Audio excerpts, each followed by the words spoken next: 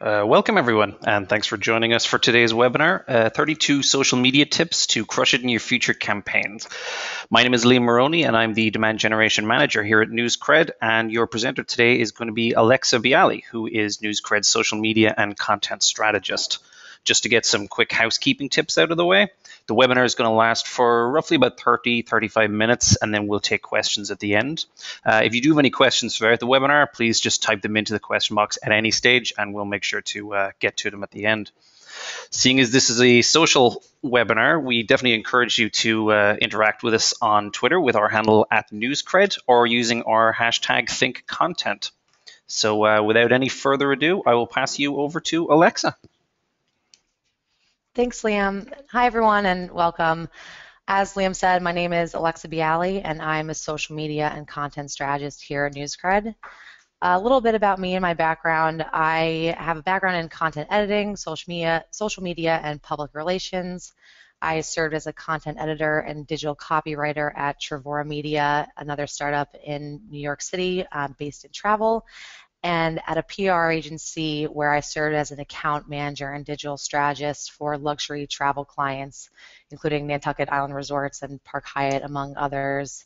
And now at NewsCred, I oversee all of our content marketing from creating and implementing our social strategy to publishing social content and day to day community management across all of our channels.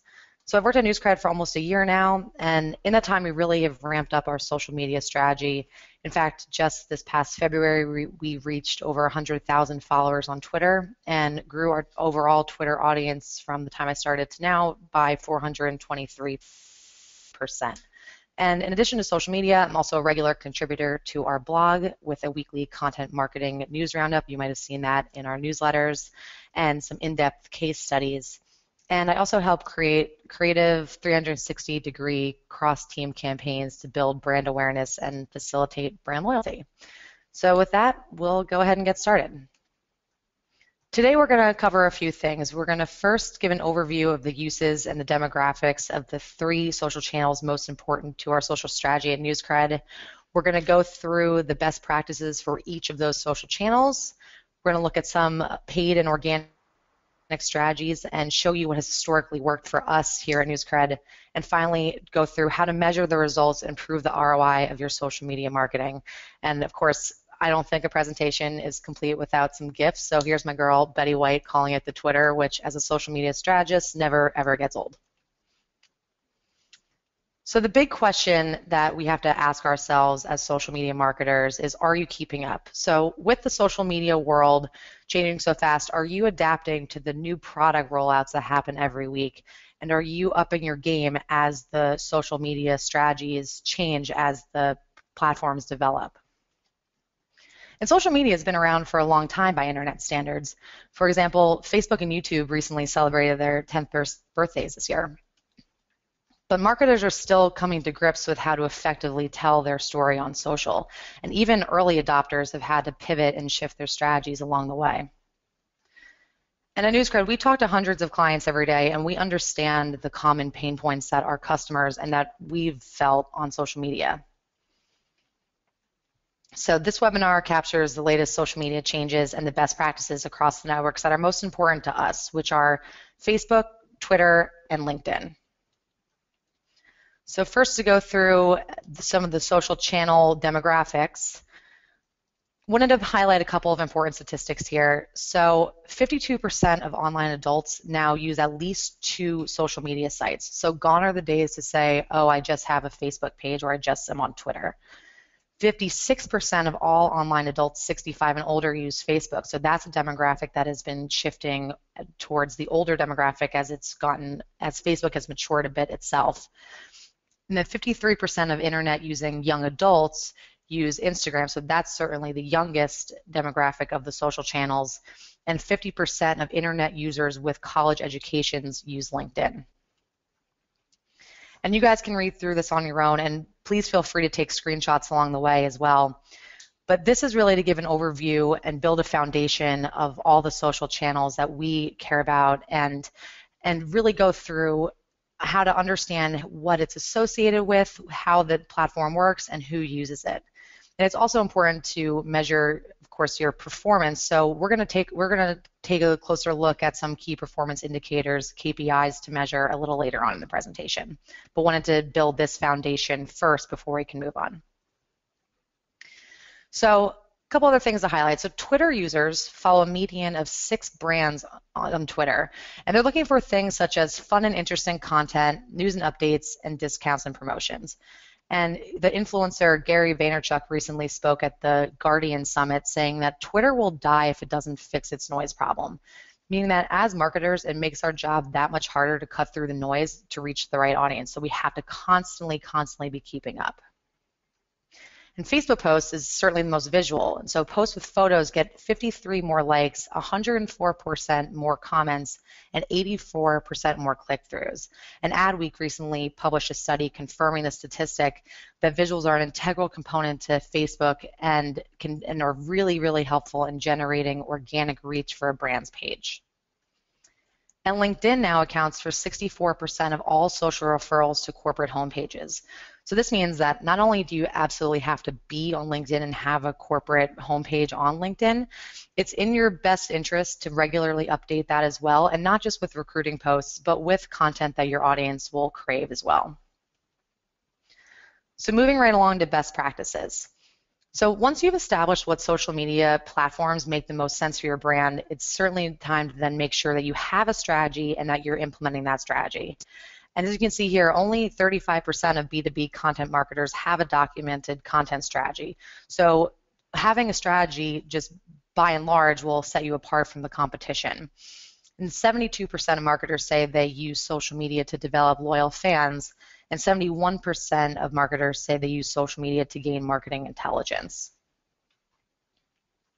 So we've shared this before in some of our other webinars, but I wanted to share it again with you guys because it's really important to learn that every behind every tweet, share, and purchase is a person like you and me. So while you may be communicating with your audience through a, your brand's handle or through your brand's Facebook page or LinkedIn profile, you always have to remember that, of course, you are a person and you're speaking to a person on the other side. So it really is in your best interest to act like a human and humanize your brand. So some best practices for overall, and this also goes beyond just the, the social platforms that we care about of, of Facebook and Twitter and LinkedIn that we've identified as the main drivers in our social strategy. This can go through LinkedIn, Pinterest, everything else as well. So you want to establish a unique voice and you want to stick with it. For example, if you've ever seen Denny's Diner on Twitter, they have a very, very unique voice and they are immediately identifiable by that voice. That's something that you want to emulate. You want people to know who you are just by reading your tweets or reading your Facebook page. You want to be transparent and authentic. So you can't if you're gonna if you are going to post something that is purely about selling your product then make it so don't try to hide behind try, try to sell your product by with a guise of something else. Just be very transparent and your audience will thank you in the long run. And this is something we get asked a lot. So we want to give due credit to authors and sources. So we've been asked before, so what do you do about about licensed content and giving attribution?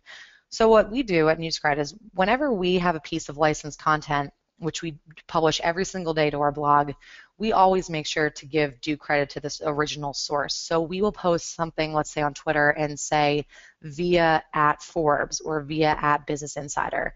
And we also do the same with our freelancers. We always give them attribution because they've spent their you know hard work and time putting together this piece for us. We want to show them that we appreciate it and that we care, so we give them attribution as well. You also always want to make sure that your images are optimized for both desktop and mobile. For example, Twitter has this kind of funky thing where they, where on mobile, sometimes images get cropped off on the right-hand side. So if you're going to post a photo with text overlay, you want to make sure that that text is centered so it doesn't get cropped when you're looking at it from your mobile device. You want to maintain a consistent cadence. So one of the ways to build brand loyalty and to really build a following is to post consistently. So if if your readers know that you're going to post a, no, a, new piece of content on social at a designated time every single day, they'll be more likely to come back and check and say, "Oh, I'm I want to check out what's new on on the blog today or what's new on social today." You also want to make sure to respond to your fans and sometimes the haters in a timely manner. So it does go a long way, even when somebody might be complaining and about customer service or anything at all, to respond and say, hey, look, sorry about that. Let's uh, either direct message us for more, let's take this conversation online and provide an email. There's nothing there's nothing at all wrong with saying that to somebody on Twitter. And of course responding to people who say say very positive things. We frequently thank people from NewsCred saying who are saying great post, love the infographic. We always try to respond and say thanks so much for sharing, really appreciate it. You want to truly know your audience and know who you're talking to. And this goes across the demographics that we spoke about with the different social networks too. You want to know who's on what network, what your tone should be, and really figure out who you're speaking to. Because sometimes if you're speaking to a CEO, of course, you're not speaking the same way you speak to that person as an intern, right? So you want to really make sure you know who you're speaking to. And finally, have a variety of content. So this bar down here is sort of illustrating the 411 rule of variety in your content. So that means original, licensed, user-generated content, white papers, guides, thought leadership, etc. And then sharing one influencer post and one publisher post because you want to make sure your social accounts demonstrate interaction. So you want to interact with the people who you're trying to reach, and that means sometimes sharing uh, a post that a publisher might post that they that your audience craves and they read every day, or an influencer for that matter. So diving right into Twitter. So we post one tweet an hour, seven days a week between 8 a.m. and 2 a.m. And that's to keep up with the fast-paced nature of Twitter because as we all know, Twitter is certainly the fastest in terms of feeds of all the networks. And if you only post a tweet twice a day, you're really missing a large part of your audience because the only people that are going to see that are the people that are online on Twitter at that very moment or people who go to your brand's handle and scroll down and read your entire Twitter feed. And so you can't really bank that that's going to happen. So you should try as best you can to post as many times as possible. And don't be afraid to post the same tweet more than once with A-B variations. We do this all the time. We will. There's actually a couple of tweets in our rotation that have been there for months at this point, and it's because we've seen high engagement, and we keep seeing high engagement, so we keep recycling that content in those posts, and that's totally fine to do. And finally, say thanks. It's the most effective way to increase organic engagement and followers and build that brand loyalty as we spoke about. And then this screenshot here is from our task manager within our software and you can just see how many tweets a day we post and what this looks like. So you have our workflows, it's checked when done, you have your images, and you keep everybody on the team accountable and have everyone really involved with the editorial component of your social media. And so you want to also interact with your audience on a human to human level. So here are two examples, one from my personal Twitter account and one from NewsCred that I wanted to highlight. So from my personal account, I frequently tweet at Pandora Radio, and this was one time uh, not too long ago where I got really excited that "Man the Mirror" by Michael Jackson came on my on my Pandora. So I tweeted at them, and they came right back, and we had a nice little Twitter conversation. And there were about six more tweets going back and forth that aren't even shown here, of us then starting to debate the whole essence of 2000s pop and Britney or or Christina Aguilera. It got really in depth, but that was a great a great um, example of human to human contact there, even with the brand. And then from NewsCred, we this is known in the office as the White Castle story. One of our sales representatives sent White Castle to the Google office, and what ensued was one of the greatest conversations that I've ever been a part of on social, where White Castle jumped in and we had a back and forth with White Castle for quite a while, and it was mostly a conversation through hashtags, which also just upped the ante a little bit more. And that's one of the beauty. That's part of the beauty of social media is that in pretty much no world other than this would a uh, Square hamburger cheeseburger restaurant chain and a B2B software company have a conversation, but lo and behold, here it here it was. So you also want to be visual, and so tweets with photos are 150% more likely to be retweeted, and 78% of user engagement with brand with brand tweets are via retweeting. And tweets with 100 to 130 characters get the most engagement and retweets, and this is because if you give people a little bit of room to add a comment to, um, before they uh, quote your tweet, that gives them the ability to put their own spin on it as well. Moving right on to Facebook, NewsCred posts two times a day, five to seven days per week, and this is to align when our audience is most active. And as we mentioned before, visuals are a crucial element to Facebook. So you want to make sure that they are high quality and they help tell a story. And the content that you post should be varied, and it should be a mix of cultural and educational posts. And here we have in these two screenshots when we had some of our new hires start, four of them on one day. We published that, said the New York office gained some more friendly faces. Here you go, got some good engagement. And then we also always make sure to post the new content that we have up on our blog on Facebook as well. LinkedIn is the same. We post two times a day, five to seven days per week. And Facebook and LinkedIn posts, rather, are certainly the most authoritative in terms of voice because of the demographic of having such a highly educated group on there. So it can't you can't just be posting your company updates and recruiting posts. You really want to make sure that you have content there as well.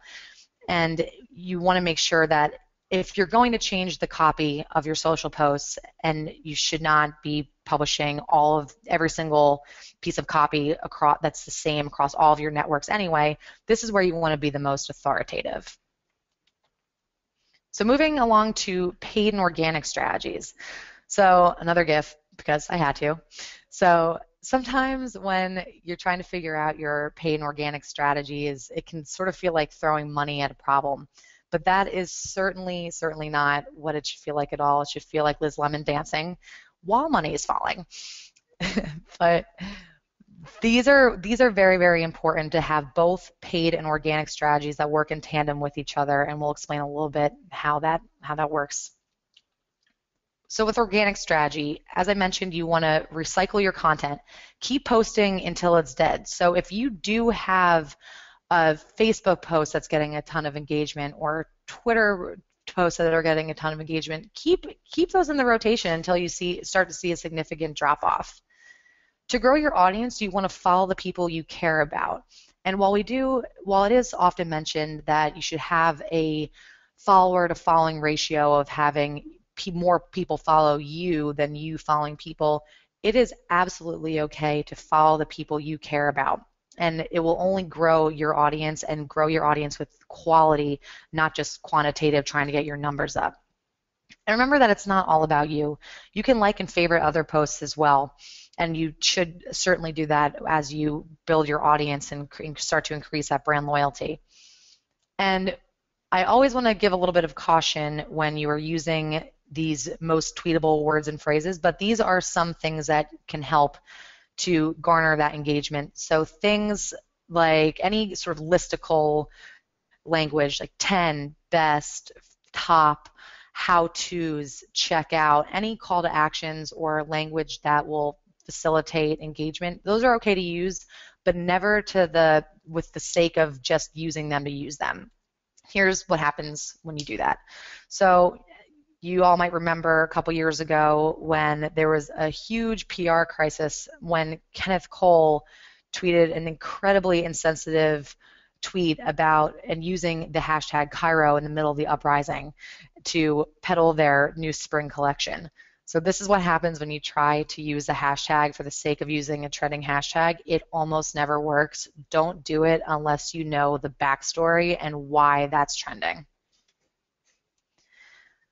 A little bit more with organic strategy. You want to like and write back to people who comment. So if someone says, love this infographic, say, thanks so much for sharing. And then you can even say, if you like this, check out this post. That kind of engagement is absolutely invaluable.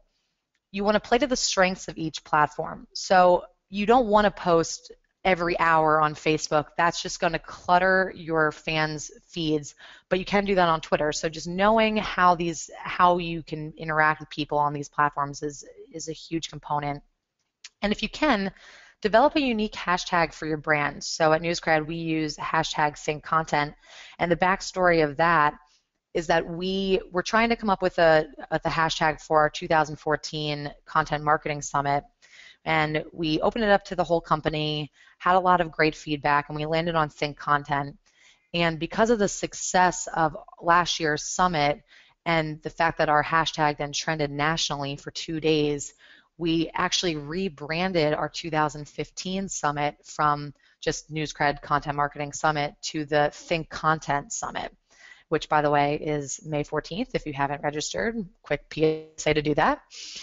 And that's that's how we landed on our on our hashtag for our brand. And now, as you can see, we use it for all of our events, webinars, and everything else we do.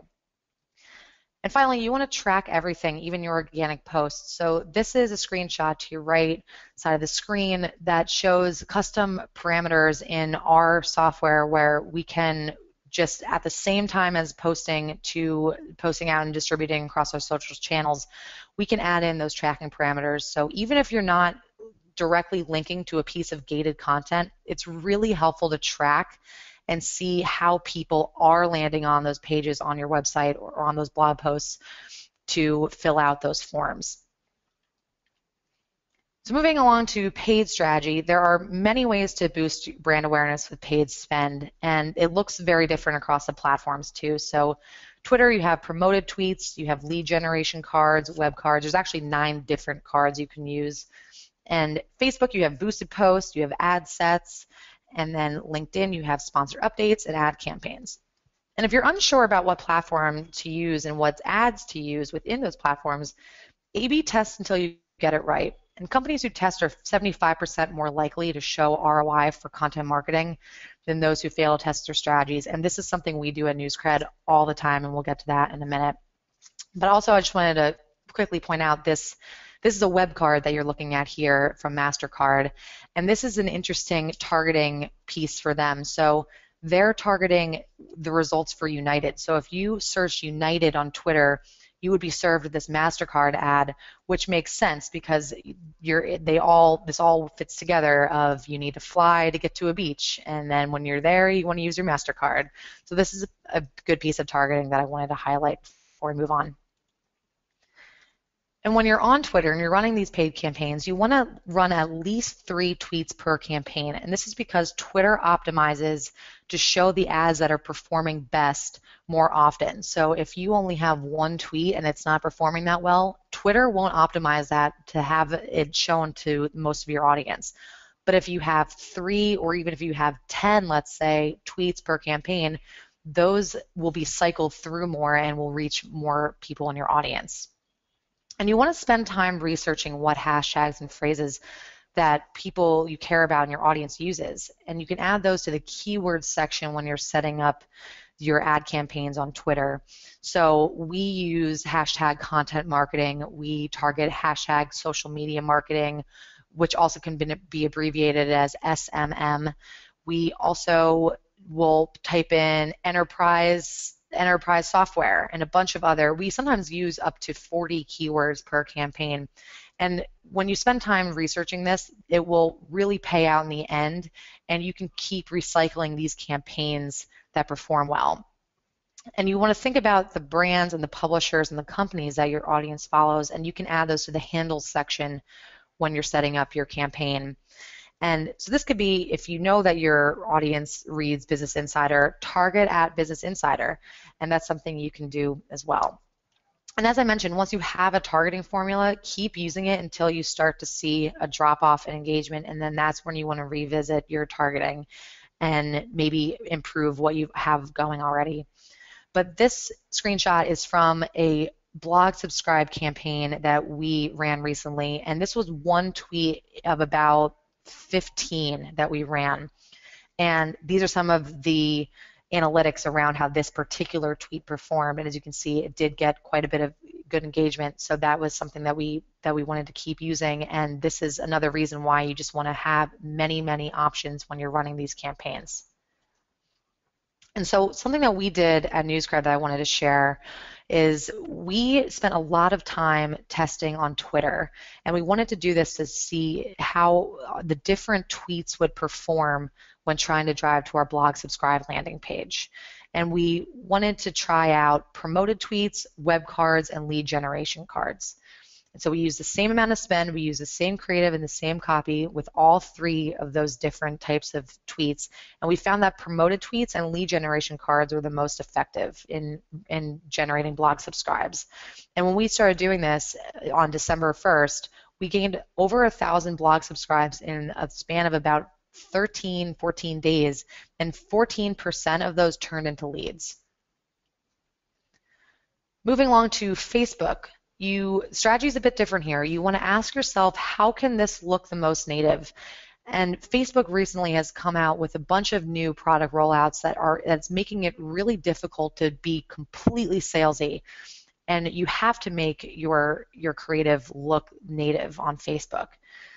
You want to segment your audience based on location, age, gender, interests, behaviors, connections, etc., to have the ticker on Facebook go from having a broad audience to a defined audience. And what this means is that you just want to make sure that you are hitting the right audience at the right time, and the people that are going to see and interact with your ad are the people that you care about. When you are setting up these campaigns too, you want to make sure that the text on your visuals are less than 20% of the overall image size. And what this means is that when you're when you're in the back end and you're setting up your campaign, there's this grid system that Facebook uses that you have to click the grids in little boxes that have text in it. And if it's more than 20% Facebook will reject your ad. So you definitely don't want to make you want to make sure that you are optimizing your visuals correctly. And you also want to be choosy about your ad placement. So a desktop newsfeed ad looks very, very different from the right column where it's very difficult to read and the images are much smaller. So be careful and take the time to think about where you want your ad to be seen and where it will best be optimized. And on LinkedIn, LinkedIn is the best platform to promote your high value content and your, that gated content that we talked about. It's also the best platform to segment your audience, and you can get very, very granular with targeting. So as you can see here, we this is one of our ads that we ran that we were only targeting financial services and we so we only so we just did our our location our industries and then we go and by job function and we kept going. And you can always keep going on linkedin to get super super granular. You can segment by company. You can exclude companies. You can exclude um, uh, positions, you can include certain things and behaviors and interests, and you can really, really get a very defined audience on LinkedIn and absolutely take advantage of that.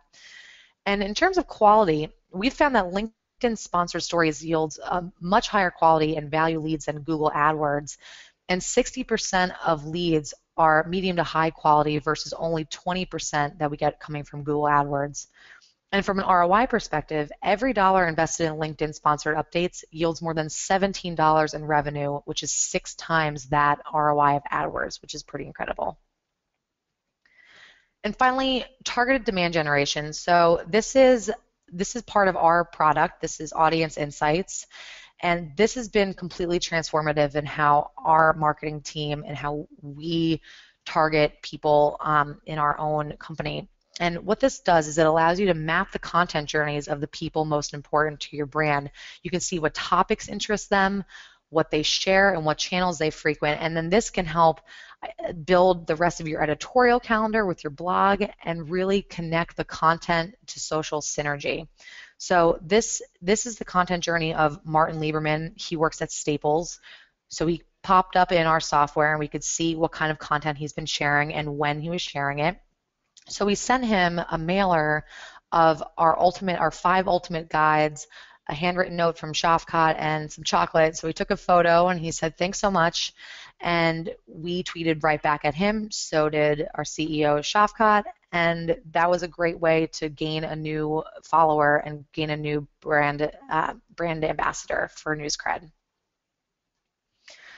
measuring the results. So KPI measurement is essential for all marketing, and that absolutely goes for social media as well. But while metrics are key, there isn't a one size fits all for social, and each platform does have a unique set of KPIs that you want to pay attention to. So while 70% of content marketers are creating more content than they did a year ago, and as we mentioned, only just a few have a, document, a documented content strategy, only 21% say that they're successful at tracking ROI. So we're hoping that we can change that here.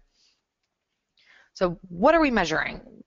So KPIs on social media, we're looking for brand awareness, engagement, and lead generation.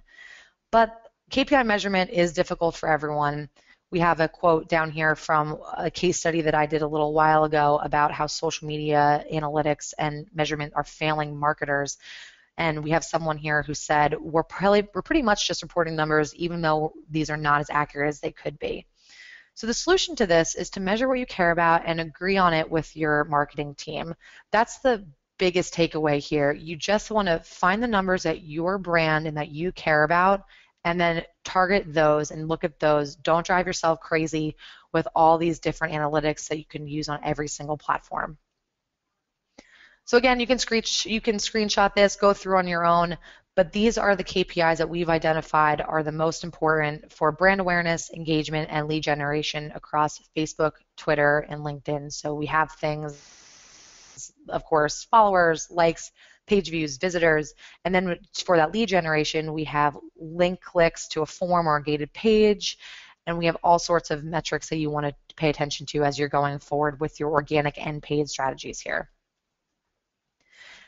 You also want to analyze your content at a macro and a micro level. So this is a screenshot of our platform. Again, we have our dashboard on the far left that's showing how our content has been performing over a certain period of time, then how social posts are performing, and you can compare and contrast and see are your social posts laddering up to your blog content and vice versa, and then go one level deeper and look at the actual post itself and look at the actual creative and see what kind of engagement that's garnering. And this is something that will really help too if you're A-B testing to see what photo does better, what copy does better, and what you can change to really make sure that that's optimized to the best of its ability. So this is something that is really interesting. We, when we found that if you increase your blog posting cadence and consistency, everything across the board with social grows. So this slide's a bit old as we're over we're at over 100,000 followers today, Twitter followers, but there's important takeaways here that as you increase your cadence and posting those new pieces of content across your platforms that you're following will absolutely grow right along step with it. And by increasing our original content production, our traffic jumped. So in April, we were only publishing one original and five licensed posts per week on our blog. And after April, we were posting five original and five licensed posts per week. And we found that our unique visitors increased by almost 50%. And this directly related to social ad spend to increase reach and engagement.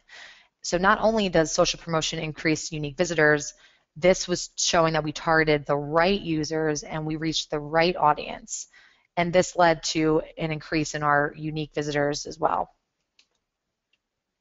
And our social sharing drove increases in reach, engagement, and finally, the thing that everyone cares most about, conversions.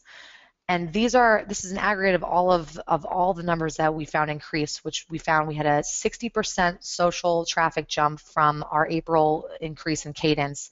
We increased our blog subscribes by 30%. Social shares increased by 2.6 times. And this was all done at 50% less of our normal medium to high quality loss. So this was done at scale and it was efficient as well. A few more pro tips before we leave you. Put a period before the at mention on Twitter so your tweets show up in your timeline and not in replies, and therefore more people will see them since not everyone knows to then just click over to the replies section on your Twitter feed.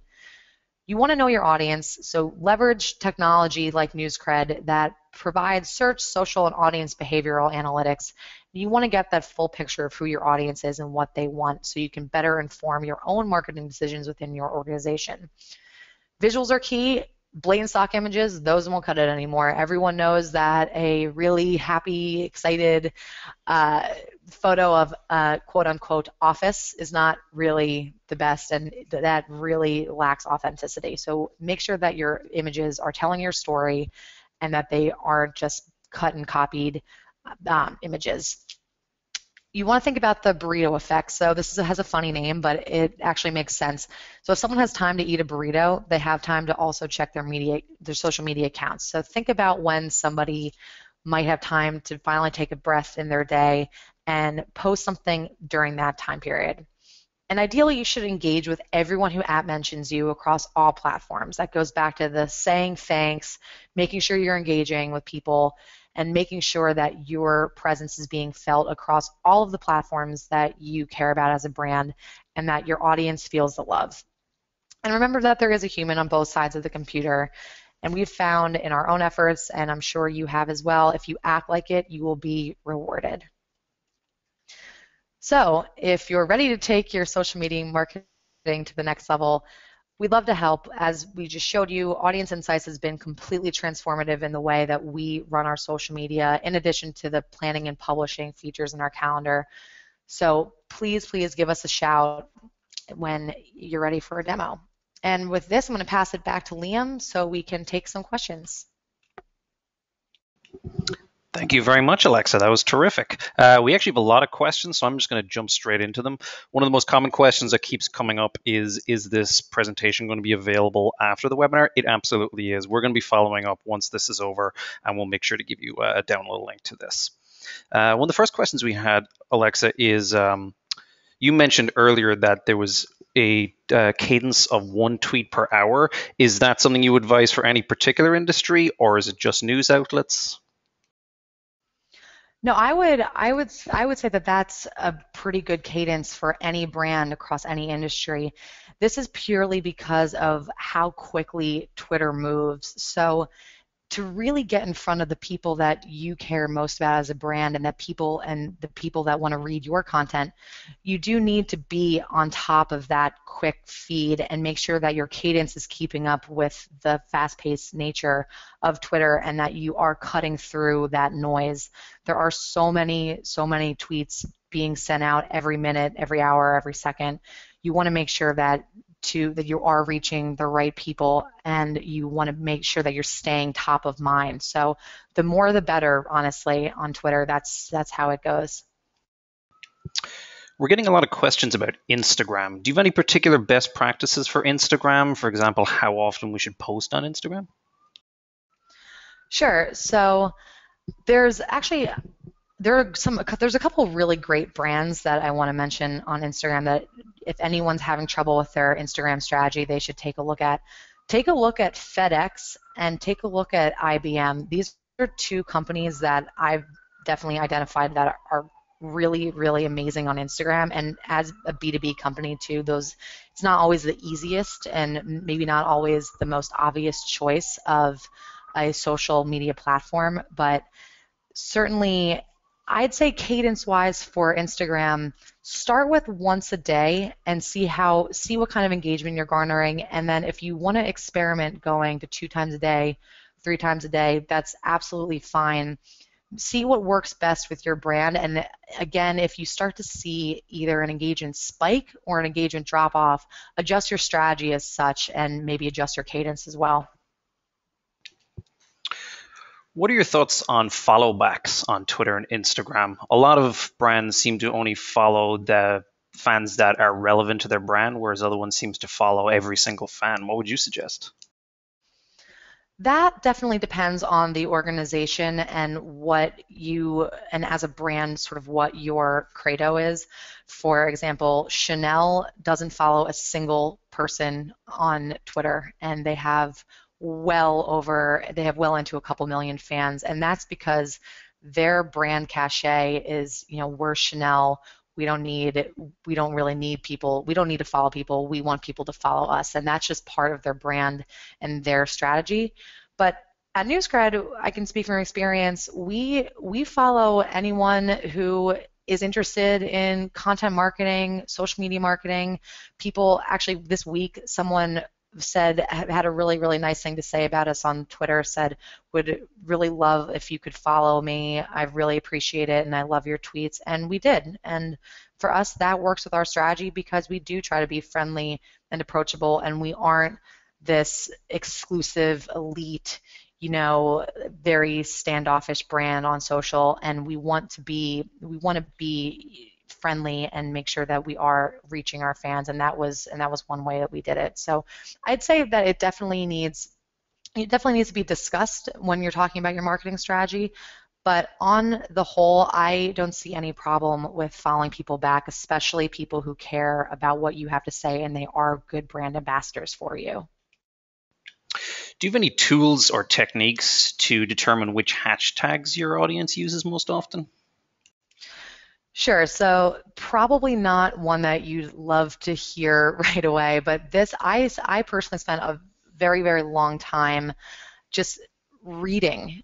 And what I mean by that is take a look at identify influencers in your particular marketplace, look at what they're saying, what hashtags they're using, and start from there. Start at the top with influencers that you care about and that are really making waves in your space and then go down from there. See who's interacting with those tweets, for example. See what hashtags they're using. Take a look at either competitors or like-minded brands, see what hashtags they're using.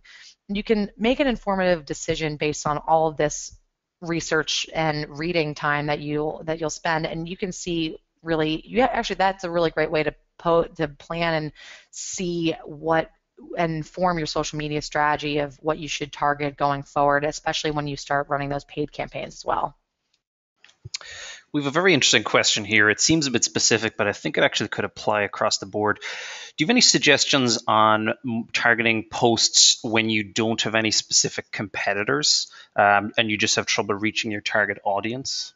So, for example, if you were trying to target an audience and you weren't, you didn't have any specific brands that you could use in your targeting on Twitter, any particular way of tracking down the right audience for you? Yeah, so that would, I would kind of almost bucket that in a similar answer that I just gave. Take the time then to do to do your research and take a look at and you know take a look at who's talking about that particular topic in the space and that can help better inform when you're moving forward because i understand that you know if, if you aren't targeting specific specific brands there are still many many options in how you can target across and, and reach that audience on social whether that's on twitter on facebook linkedin you can there are very creative ways you can target so it doesn't necessarily have to be an at brand handle we have a great question here, actually. How do you manage that many posts on Twitter every day? Do you need to have someone dedicated to Twitter all day from 8 a.m. till 2 a.m.? That would be. There are definitely companies that do that. We are not one of them. I, as a, sort of, we joke about this on the market team as grandma status human being. I am not awake at 2 a.m., so I'm certainly not posting then. Um, so the NewsCred software, we we have the ability to schedule our social posts. So we generally are about a day and a half to two days ahead of our social posting. And we kind of let it run on autopilot. And of course, there's always times where we're going to want to jump into a conversation and at mention somebody or just tweet on the fly. That does happen often. But for the most part, and especially in terms of scheduling, and especially during those off hours that that you might not be awake, but people across the ocean might be awake, then you want to make sure that you're reaching those people as well. So schedule your posts and take advantage of that editorial calendar and that plan, and leverage a software like NewsCred that does allow you to publish and post um, with a schedule and plan it out ahead of time. I think we have time for one last question here, actually. So, uh, one question we have here is on the note of posting per hour, do you pick particular topics per day, for example, a theme, or how would you track what your audience wants to participate with? So, that's a great question. Um, we tend to have a variety, and that goes back to the variety of content point that we like to have a variety throughout the day of different posts. So, we might have one that talks about social media strategy. We might have another one that talks about how to manage your freelancers. We might have another one that's top uh, B2B Instagram feeds for inspiration. And then we might have one that's announcing, let's say, a webinar. So these are all things that, while they might seem a little disjointed, are all part of the ecosystem of content marketing, of marketing, of what we we want our audience uh, to learn about and what we've identified as themes and subjects that our audience is reading on a daily basis. So while we personally don't have we don't have a theme necessarily per day, that can work, especially with Instagram too. There's been a bit of a resurgence of the hashtag TBT Throwback Thursday. So if you have something to use for that, that's that's one theme day and one hashtag, for example, that I would that I would suggest that that's something you could jump on as a brand if it makes sense with your overall strategy and it doesn't feel arbitrary. Nothing should feel arbitrary, but you can go ahead and post on different topics that are all relative within your larger um, organization and the larger ecosystem of your brand.